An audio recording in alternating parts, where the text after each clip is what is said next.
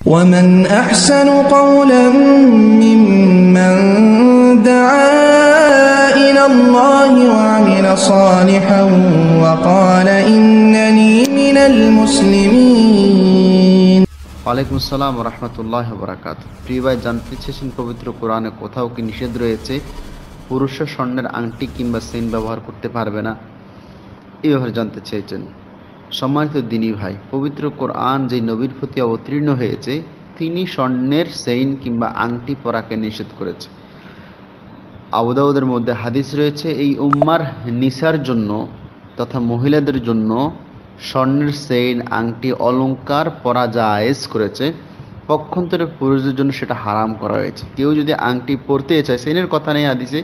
আংটি পরার ক্ষেত্রে ওলামাই কেরাম সকলেই ঐক্যমত পোষণ করে আংটি পরা যাবে। নবী সাল্লাহ আলাইসাল্লাম নিজে আংটি ব্যবহার করতেন, সেটা রূপার হতে হবে কিংবা লোহারও হতে পারে। আলিবনে আবি তালেব রাদি আল্লাহ আনহু লোহার আংটি পরেছেন, বখারি মুসলিম হাদিসে রয়েছে। কাজে আংটি পরা জায়েজ, বরং হাতের সৌন্দর্য বৃদ্ধি করে।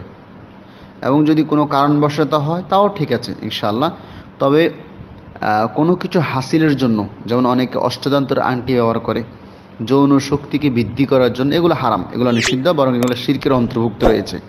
বাকি অন্য অন্য আংটি ব্যবহার করা যাবে, শুধুমাত্র স্বর্ণের আংটি ব্যবহার করা যাবে না, যেহেতু রাসুল সাল্লাহ নিষেধ করেছেন।